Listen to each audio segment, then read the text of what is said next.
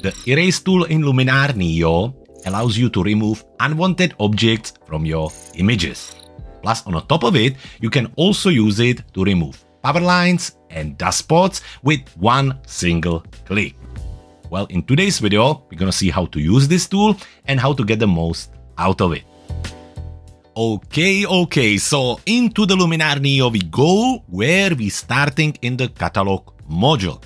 Now, here are the sample files for today's episode. And by the way, if you want to follow me along and test what I'm going to show you on the actual images, you're more than welcome to jump into the description of this video now, follow the link there, download the sample files, and let's start. So, considering that you have the sample files in the application, let's select the first one and move it into the edit module.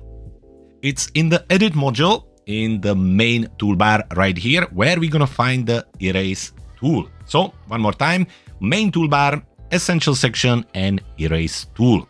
Just like any tool in Luminar Neo, you click on it to open it and use it from here. Now, following the tradition, let's ask my friend Lumibot to tell us more about the erase tool. Of course, Jakub. The Erase tool in Luminar Neo helps you quickly remove unwanted objects from your photos, like people in the background, power lines, or dust spots. Just brush over what you want to get rid of and click Erase. Luminar takes care of the rest, blending everything naturally using nearby pixels. You can adjust the brush size, undo parts of your selection, or clear it and start fresh. It's a simple and powerful way to clean up your shots in seconds. Now Jakub will show you exactly how it works. But if you ever need help with anything, come and see me at cleverphotographer.com slash lumibot. I'll be there anytime you need me. Well done, my friend. Very good. So now we know what the erase tool is for. So let's go ahead and try it. Now we have this image right here. There is a number of elements we could remove. And let's start nice and easy. Let's say just by removing this part right here. Now I zoom in, I use the wheel on my mouse, but you can use Command or Control plus to do that. And from here, let's move into the tool itself. So we have a select and deselect option. When the select is on, now we controlling the brush and basically just selecting what we want to remove. You see, I'm just brushing over this element to select it so I can remove it. If I make a mistake, I brush here, I can always hit X or X on my keyboard, or I can click on deselect here and remove this part, the unwanted selection. I can, of course, make my brush bigger or smaller using the simple slider here. So bigger, uh, just like this, right here, or also smaller, again, deselect and brush right here. Now to control the slider, you can also use bracket keys on your keyboard, just like with any brush in the application. So anyway, now we have the selection. We have selected this white path and we can go ahead and click on erase. By the way, quick tip here, when you're selecting an element, because we're using content aware, you always want to select a little bit more than the actual part you want to remove. This way, everything will blend together. So when you on select, you can just brush a little bit extra. So one more time, when you're happy, just click on erase and just like that, that element is gone. Crazy, right? Now, if you don't like it, if you don't like what just happened, you can always click on this little arrow and reset the tool. So let's have a look at it. Puff, our little pole here is back. Now, unfortunately, you have to select it again. However, it doesn't really take that long. Let's just make the brush a little bit bigger. And to speed up the process, what you can do, you can click on the top, hold shift on your keyboard and click again. And this way, it will actually connect the one click, one selection with a straight line with the second selection. So click on erase again and it will remove the element. Now, let's say that we're gonna continue. Now, don't forget that anytime you move around the screen while you have the brush selected, you just hold spacebar on your keyboard, so that way you can move around. Otherwise, when I click, it's selecting, it's not moving. So let's go ahead, click on deselect and remove this. Now let's zoom in a little bit closer, make sure that we on select and just very quickly adjust the size of the brush and select a few of these poles here. Very good. Now we can click on clear and that will remove this entire selection. But don't worry, we can again add it back with few simple clicks. Don't forget, I'm using the shift just to make these straight lines. Once finished with the selection, again, we can click on erase. Oof, just like that, they all away. Now, if I would brush over here, and once finished, click on restore rather than erase, what it's gonna do? Well, it's gonna restore the area I have just selected. So that way, you can, for example, brush here again, now I hope it's here, and click on restore again, and it will bring back this area here. It will not deform it or anything, it will just bring back whatever was erased there. So what are the options we have here? Erase, which will remove the part, clear, which will remove the selection, and restore, which will bring back that selected area. Easy, right? Well, we can, of course, remove much more. So let's just zoom out a little bit further. And let's say that we remove this pole right here. So one click on the top, hold shift, one click on the bottom, and then click on erase. And just like that, the pole is gone. Zooming in, again, we can go quite fast here.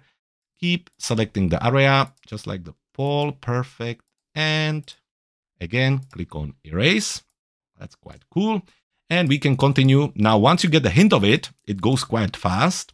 What you want to do, you don't want to go too far. You don't want to select everything because it will not do a very good job. So keep selecting smaller areas, just like I'm doing, and just remove them like this. So this is what we're doing, removing these parts, removing these parts, holding a shift if I want to. Again, click on erase. Now you see here, it didn't do great job. So what we need to do, we need to select smaller area, just like this one here, and just click on erase. And again, at the bottom here, smaller area, and click on erase again. If it keeps going on, just select another part, click on erase, and it will improve. And erase one more time. Great, well, now we can just zoom out and select the power lines. So let's say somewhere around here, and again, somewhere around here. One more time, Shift and clicking will connect these lines together. Click on Erase and it did very good job. So this way we have removed the area of the power lines here. Let's have a look at it. Before and after. Not bad, right? It only took us few seconds. So this is how you use the erase tool on this simple image. However, we have a few more examples. So let's go ahead and select the second photo. This is kind of nice ruin of old house here in the south of England. Now what we can do, we can jump into the Enhance AI and just increase it. And when we do that, you will notice all the dust spots and sensor dust on the photo, right? Especially in the sky. Now, you could, of course, go into the erase tool and select them all individually and start to remove them. Or you can go crazy, click on clear, clear this, and click on remove dust spots. Now, this is one of my favorite feature here in the erase tool because it does happen that you have a sensor dust and you have these little spots. And in the old days, you really had to remove them one by one, where now you can just click on this command. Now, depending on the size of your image, it may take a little while, but it will remove them all in one go. Just like magic, right? Let's have a look at it. Before and after. Crazy. I love dust spots removal. I think it's great. Well, we also have the remove power lines. So let's go crazy into this image right here. I love this image. Look at that blue hour, nice neon lights. It looks great. But we have all this destruction of the power lines. Now the power line feature works very well, but it really depends on the image. So let's try it right here. Let's go ahead and click on remove power lines.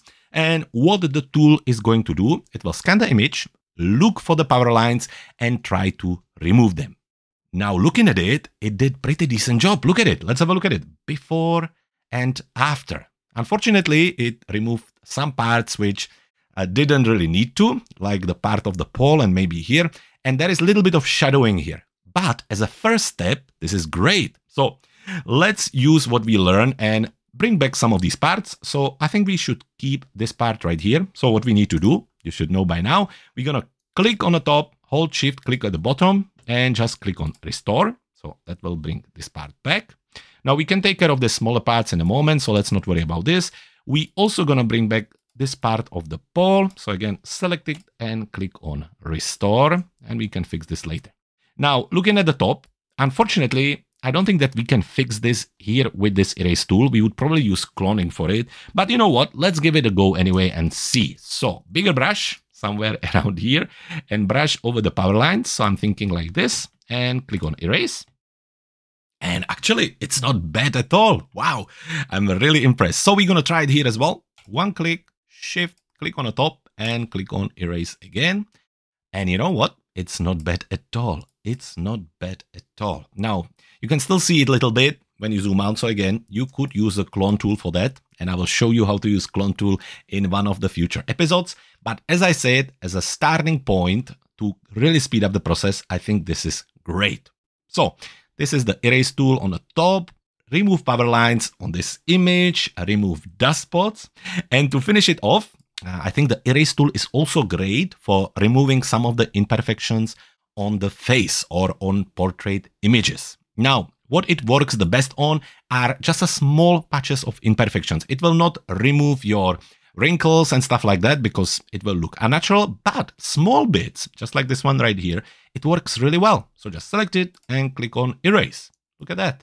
Again, for example, you wouldn't like this part, so select it and remove it. And you can just keep moving around, around the eye here. So we select this part, click on erase, like magic. So I really wanted to show you this because I think that the, that the erase tool is great for this. It's also super fast, so you can really go really fast, select these areas, you know, as long as you're using small brush, selecting what you don't want, and then just click on erase, it only take few seconds. So I think the erase tool is great for portrait photography. And there you have it. So this is how you use erase tool here in Luminar Neo. Now don't forget that we have a video tutorial for every single tool in this application. So don't stop here, continue learning and keep moving forward on your photo editing journey.